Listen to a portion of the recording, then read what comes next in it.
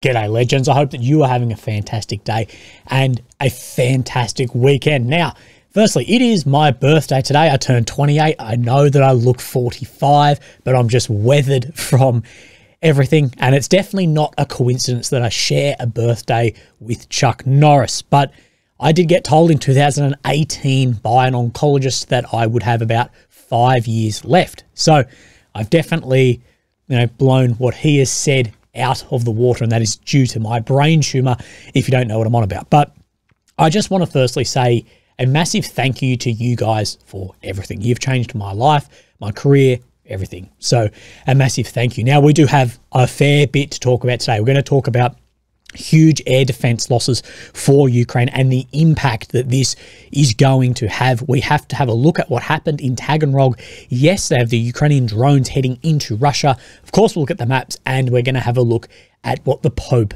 has said. Legends, we normally hear, we look at the news and we break down the strategies of what is happening on the front line? Well, you can be in the commander's seat and prepare yourself for the ultimate clash of nations in today's video sponsor, Conflict of Nations. This is a free PvP strategy game, and this will redefine your gaming experiences. You'll choose your destiny, lead a real country in the chaos of World War III. You'll engage in epic real time battles against up to 128 players that can unfold over weeks, and this will test your strategic prowess to the absolute limit. You'll navigate the political landscape, declare war on your neighbors, and forge powerful alliances with other players. But ultimately, the choice is yours, and the fate of the world is in your hands. Strategize, plan, and execute your way to victory. Engage in epic battles, capture territories, and dominate the world using your own unique strategy. And the best part is you can command your forces on both PC and mobile, so you can take the action with you wherever you go.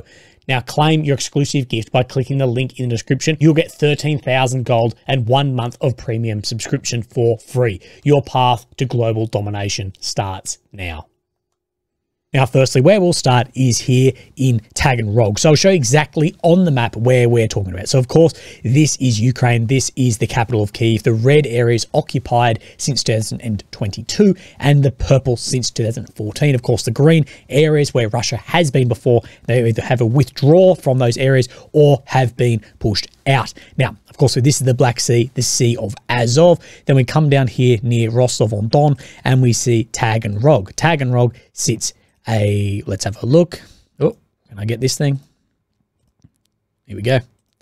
120 kilometers ish from the front line. But of course, we know these will be launched much, much further behind the line within the territory of Russia. And we got footage yesterday coming out as far as this footage here of saying that there were many strikes against Taganrog in the tens of drones and that lasted somewhere between 20 minutes to an hour and a half as far as the mixed varying reporting that I've seen.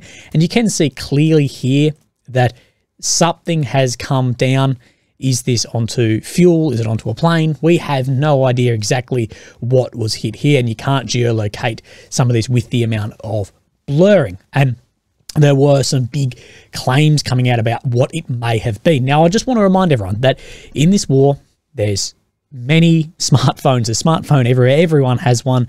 There's drones. There's footage from uh, security cameras, and things come out very, very quickly, regardless of where it is. So within 24, 48 hours, if you don't see something come out, I think be careful of claims that are made. And I'll say this. This links back to the Su-34s that we saw claimed down over the past fortnight that there was no footage come out of the majority of those, and nothing has come out that even with the the planes hit within Russia, Russia's ships hit more important targets very quickly, very quickly. Footage comes out, and now we're into the next morning forwards, and so far nothing really has come out of Taganrog. But let's have a look at what is being said. So this is from Fighter Bomber, whose track record is very good, speaking about Russian losses.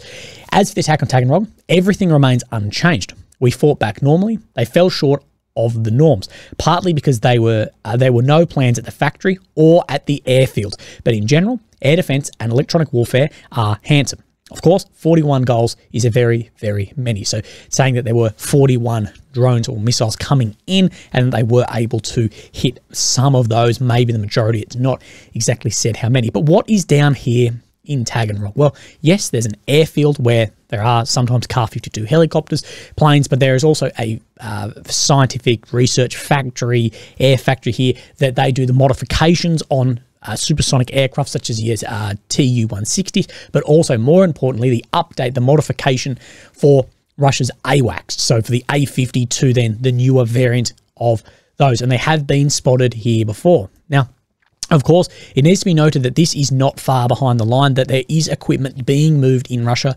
further and further away because of risks like this. Now, we did see on the 29th here of, uh, I believe it's February, we have seen that there is evidence that an A50 has been spotted here, and this is where they do the modification of the vehicles. Now, this is the claims coming out from Ukrainian pages that Taganrog aviation plant and the A50 aircraft, which was there for modernization, destroyed by the morning strikes of the armed forces of Ukraine from People's Deputy, the deputy here. So with this blurry image showing what it's trying to say is some damage to the roof here. But again, there's no evidence of this yet. And I'm sure that there were cameras aboard the drone, some level of that, smartphone.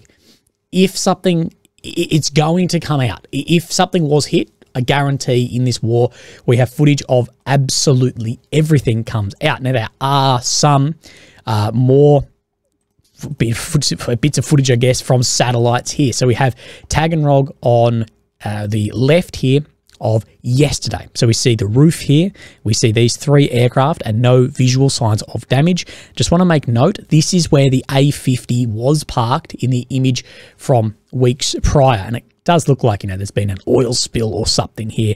You're going to have bits and pieces like this. So we have then the image of today on the right and yesterday on the left. Now, the first thing I want to point out is there is no noticeable huge damage. Now, what it is saying is here on the roof that this is a display of damage. And yeah, okay, it's not like something has been completely taken out here and that that is saying that on this corner that there is damage here as well. And you can see that there is some like shrapnel that has come off here as well. But as far as massive noticeable damage, no, this could be um, uh, bits and pieces falling off intercepted drones or missiles as well. So nothing, it's not like everything's flattened in here and these aircraft that are sitting out in the open seem to be untouched by that. And if we line up where this claim photograph was, they're pointing at the same location as this. But again, this isn't like mass damage. You can see dug in areas around this and this airfield is protected by air defense as well. So confirmation on something there? No, definitely not at all currently. But what we need to look at right now is the claims of huge air defense losses in Ukraine and saying that Russian Iskander missiles for the first time have taken out two Patriot launches. Now, it needs to be noted these are the launches, not the entire systems, that the radars are incredibly important as well. So let's have a look at the footage of this. Now, this was actually originally reported as S300 systems, but both sides, which I have seen, at least online, have really widely accepted that this actually is Patriot launches. And we will then look at where people are saying the evidence of this is. So we can see these are the vehicles moving down here. You can see a very large explosion. So this is more what we'd expect from an Iskander missile, different to what we saw when the HIMARS system was hit earlier uh, this week, or last week now, uh, with the uh, Tornado. It's more of that air burst down, nowhere near the size of an Iskander, and this is more what we'd expect from an Iskander hit here. As well, it's very obvious when you hit air defense launches, you get this sort of uh, firework effect from them. So very, very large bang in here. And we have more footage then zoomed out. We're going to talk about the recon, how this was hit, everything over this. Now, how do we how do we know what this is? Well, it's always very, very difficult. But like I say, when both sides are sort of accepting it, we get a better idea.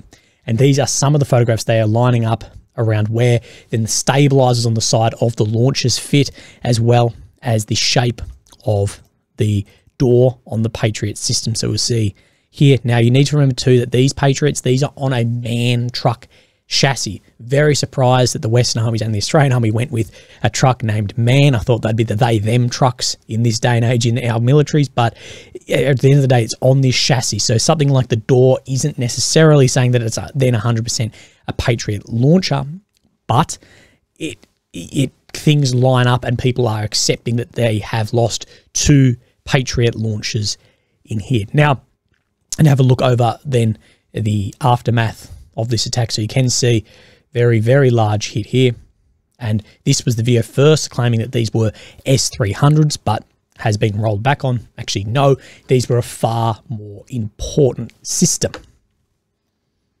So let me just delete these because I'll end up getting bloody confused. Where did this then actually go down? So in onto Donetsk Oblast here. We'll have a look for then Avdiivka.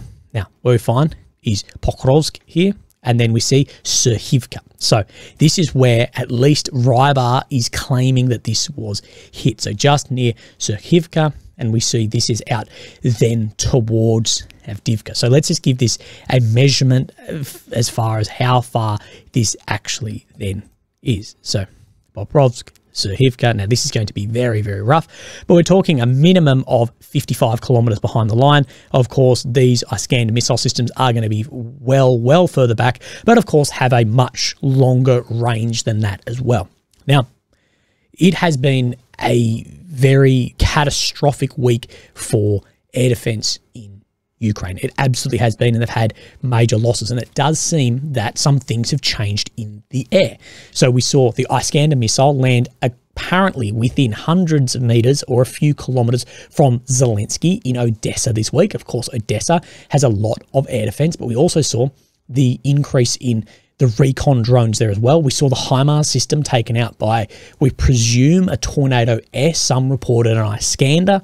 We also saw that they had then reconnaissance drones there, tens of kilometers behind the front line, and sending back live feed, high quality images. So there does seem to be a huge freedom of movement for Russian reconnaissance drones in the air. Then we have a look at areas around Avdiivka. We look at Bakhmut, places like this. It does seem like there is even more freedom of movement for the Russian aircraft dropping then the FAB bombs as well. And this is a big concern for the defense of Ukraine around the freedom that Russia is seemingly to improve in the air. Now, I will say with these, these are the launches. Now, the radar is the more important piece of these.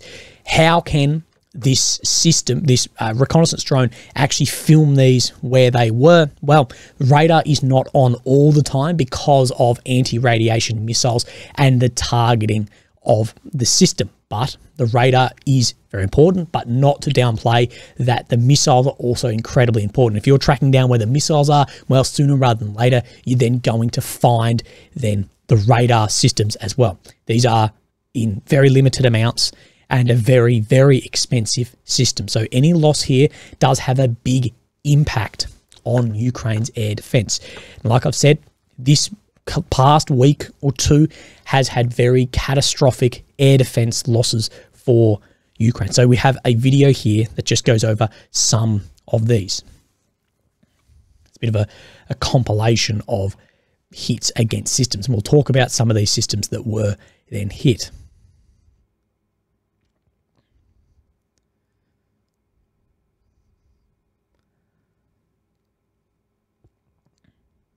The, the Buk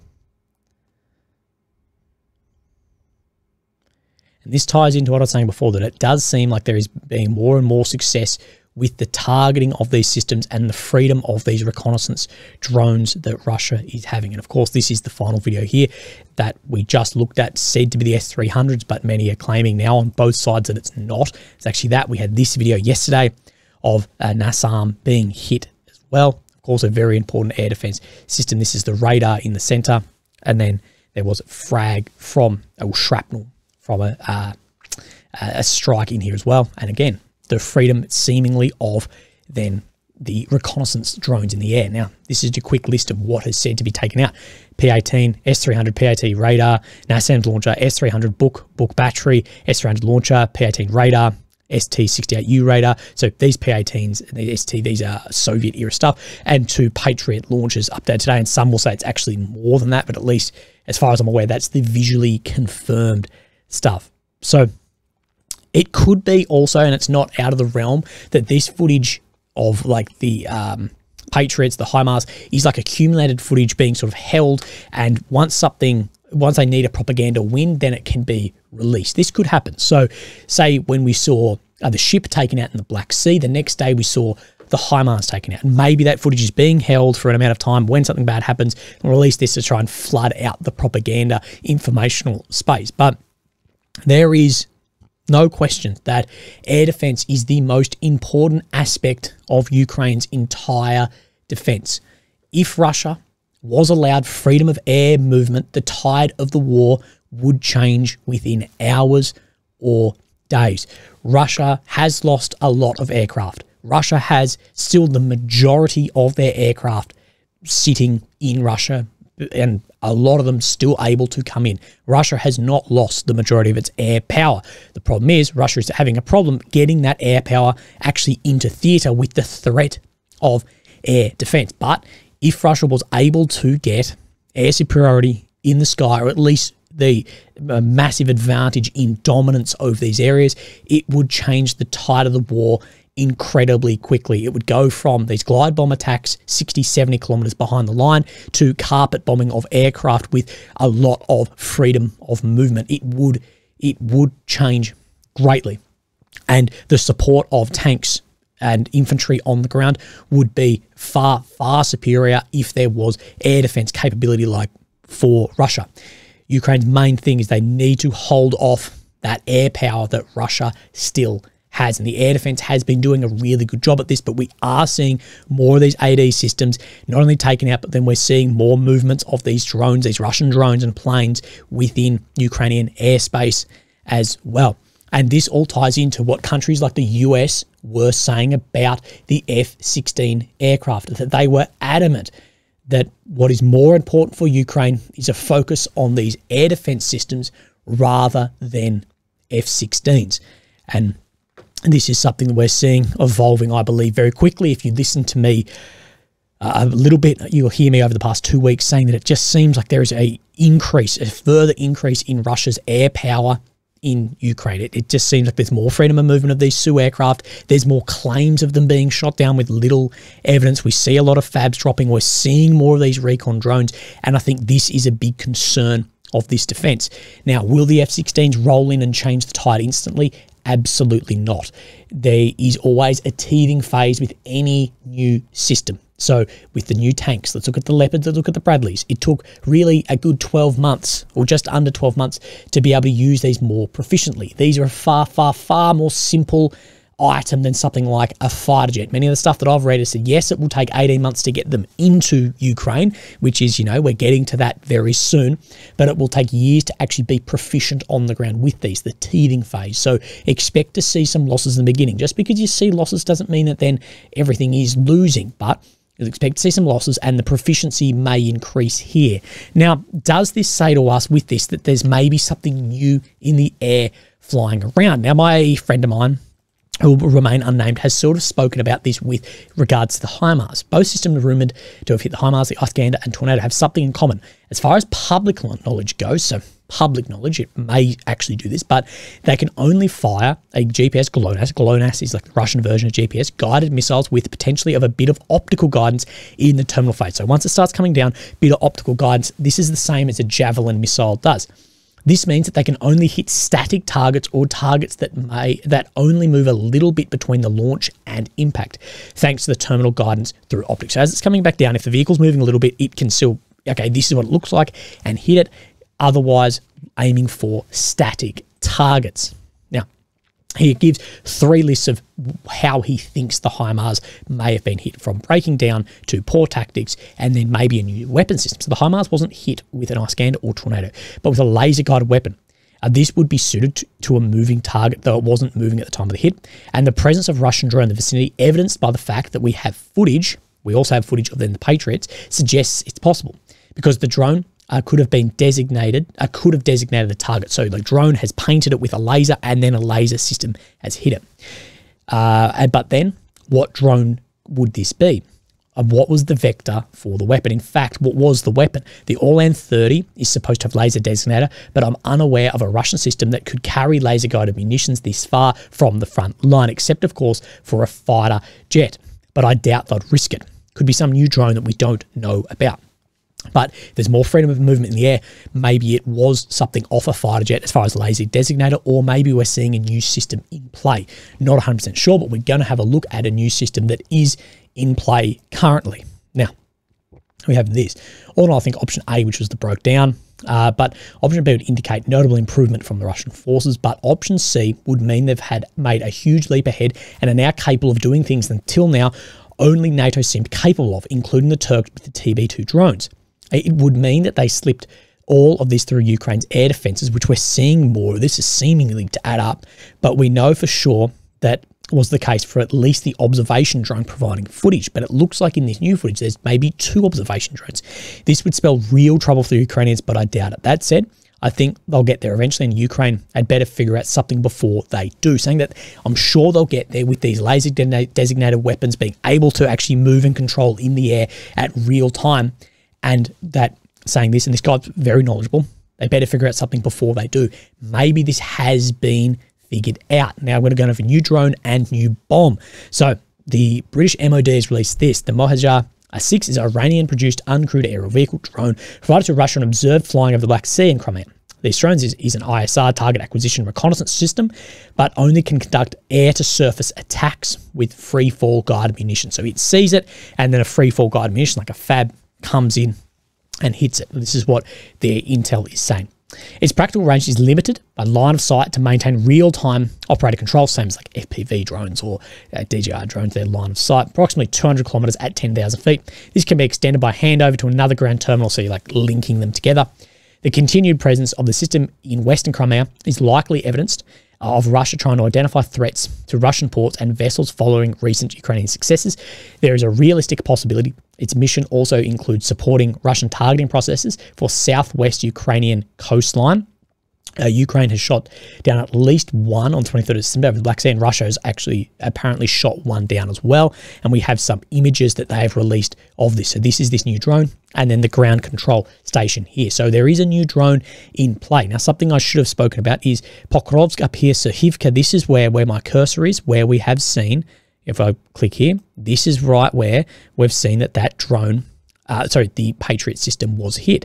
Now, of course, if we drew a dot like it's just here, maybe this is supplying some air support for the areas around here. Now, of course, this is a very, very important area for Avdiivka and, of course, down here for attacks, say, in Taganrog or attacks into the Sea of Azov in this vicinity. I'm saying here, this is a mobile system. They can move of where we've seen things like the A50 shot down. So this system, you know, makes sense to be in this area, but this area seems to be under more control. Now we're going to speak about a new bomb that is coming out. There's very limited knowledge. We spoke about this a little bit yesterday, but I think that I did get some bits and pieces wrong. So this is the UMPB bomb. So this is what then uh, fighter bomber, I believe, says about it. The new 250 caliber round bomb arrived at Ukraine positions for the first time. This is it on the ground here. The bomb is equipped with a planning and correction module. Now, I don't have, I'll put up the photo here if I don't. You can see where you can actually put in the planning and corrections into this bomb. And this ties back to what my mate, my Intel guy was saying about there seems to be a new system. The many reports the product contains a warhead, weighing 250 kilograms, a missile launcher, and allegedly an outboard turbojet engine and a fuel tank. So it can launch out of something and then sit as like a loitering munition and come back down. This shown bomb is indeed not similar to any of the previously encountered Russian guided bombs, except perhaps the vaguely to the UPAB 50 and 100 from this company for Orion reconnaissance and attack UAVs. But the mass of the bomb cast doubt on equipping a drone with it. The name of the UMPB was also not previously recorded. It can be assured that letter B, at the end means loitering. So we have a little bit more information. So we see this photograph here, which Fighter Bomber had shared, and as you can see, little wings on it to give it a lot more range, as well saying the turbojet engine, as well as the launch engine. We can see the one that came down in Ukraine. We can see the wings here and where this engine sits. It's looking like it, it mixes like your uh, multiple multiple launch rocket system and sort of a glide bomb in one. Now, this is a little bit of information to take this with a grain of salt, but photos of the previously unknown of Wunderwaffen, of course, wonder weapon that Germans always tried to uh, find and never did, appeared this product is positioned for a 300 millimeter MLRS, theoretically like the Smerch or same thing, the Tornado S. Tornado S is what most likely was what took out the HIMARS system, so note that. It is uh, assumed that some of the elements of the Tornado missiles are used in this product. Very, this is probably known. Uh, any any systems, whether it's Russian, West, Chinese, whatever, there's a lot of stuff shared across. And we have uh, infantry fighting vehicles and uh, other vehicles that share like 90% of parts. It's just the way it is. Anyway, despite this, it is launched from an airplane since the bomb has a pylon attachment. So that we see that this can be apparently here launched then from an airplane and works to give extra range and loiter as well, but also maybe fire from one of these systems. But all I'm trying to all I'm trying to say is we know that there's apparently new drones in the sky, there's apparently new bombs dropping, and we're seeing more success against targets on the ground. And I'm just laying that out there, and you guys can do what you want with that given information. So that's about Tag, uh, Taganrog and bloody the Patriot system. Now, I just want to show you this quick video. We're seeing then this released by Chinese state media, this plug, headset, FPV, drone, and uh, controller here. And we are seeing, of course, we assumed this, but that the Chinese are practicing against targets with FPV drones in against tanks, trench systems, like this. And this is what we're seeing is incredibly successful in Ukraine for the Ukrainians and for the Russians. And this will get developed across many, many countries. And this is going to be a huge problem in any further conflict, not only against superpowers or other countries, but against terrorist organizations, because these are incredibly, incredibly cheap. They're easy to make, easy to learn. You can just learn on a computer, on any computer, how to fly one of these. And these are going to be a huge problem in the future of any warfare. Now, we have very, very little map updates today. The only change on the deep state is we come up in here near Tabaevka, where we saw that Ukraine had some blue, so made ground within two weeks, that this has just changed to green. So now it's over two weeks. But as far as change on the front line, I'm not seeing anything. Now, Suriyak has one update here. Speaking about the defensive works being built using um, the maps made by Clement Molin on the Ukrainian positions. Now, Clement, of course, just uses anything that is publicly available, geolocates it, and puts the trenches down, although has had many, many th uh, threats against him uh, from people that don't like this. But here we see this map here. So we can see this is Ukraine sitting in here. These are the defensive likes. And you can see, I know this isn't the greatest layout in the world, but you can see where the blue dots are and the red. This is sitting where the Ukrainian defensive works are and the blue through here. These are the Russian defensive line and this green, this is where the current front line is sitting. So you can see that both Russia, of course, have had their massive build up through the last couple of years and that Ukraine is starting to build more of these defensive works. But Ukraine troops have been building a huge trench system in the Donbass area under their control of northern Zaporizhia uh, and in the near future in eastern, eastern Dnipro. A Russia's advance in this area will not be easy or quick. It is uh, it is impossible for a collapse to happen in this situation. This is exactly the opposite, or the exactly the same, depending on you look at it, as the Russian defensive works last year. That it's not quick or easy to move through, and you're not just going to see a total collapse in this. As Ukrainian troops will be able to withdraw systematically as Russian forces advanced westward. So as Russia moves forward, Ukraine will just be able to pepper pot rearwards and rearwards to more beefed up lines and just wear them down. The exact same thing we saw happen in the multiple lines of defense in the south on the counteroffensive. As previously mentioned, the Ukrainian collapse will occur when there is a tipping point for the resource reserves available to the Ukrainian state. Now, this is where the tipping point in this war will happen, is when either Russia or Ukraine don't have the manpower or resources to continue the war. Is what I've spoken about before, that I believe the longer this goes on, that we're just going to end up with a front line that is not fluid, defensive works that are impassable to anyone. And of course, every day that goes on, the defensive works just get stronger. The defensive works are not getting weaker, and neither Russia or Ukraine will be able to break through those.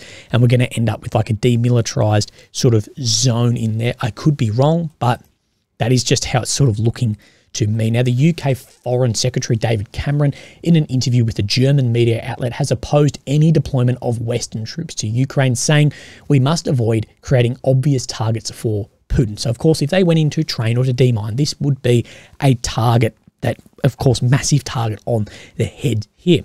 Now, this all came after it was revealed that a small number of British military personnel are in Ukraine, of course, helping with targeting primarily of the Storm Shadow Scalp, but other stuff as well. And as French President Macron has floated the idea of deploying NATO soldiers into Ukraine. And he said for demining, not for combat operations, but we're not really sure.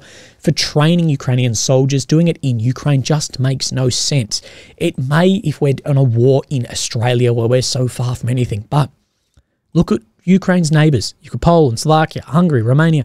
These are all NATO countries. Just Go out here into absolute safety. Don't be worried about having air defense or anything else. Move the soldiers out a couple hundred kilometers, train them back in. It doesn't make sense to go into Ukraine to train. It's not it, it's Europe. Everything is tiny.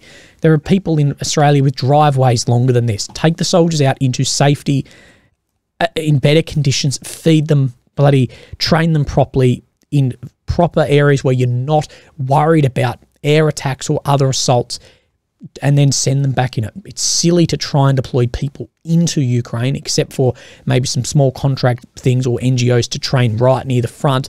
But of large, when you're talking thousands or tens of thousands, it makes sense to move out into other areas and then back in. Now, we're going to talk about what the Pope has said, and this has become very unpopular or popular internet, depending on what side you're in. Now, I just want to point out there that I'm not religious, but as I've become more mature and older, especially today, I'm a year older, but I do respect more and more how important religious is on humans around the world and how societies are shaped around this, as well as many people's moral compass, which sometimes I have a problem with. But I will never turn a blind eye towards the bad that religion also has in the world. And I think that Hitchens says it best. He said, religion makes otherwise normal people do wicked and disgusting things. Now, there's, of course, very good and very bad that comes with just religion as a whole. And that is my um, sort of take on it. Of course, some are in different variables of this across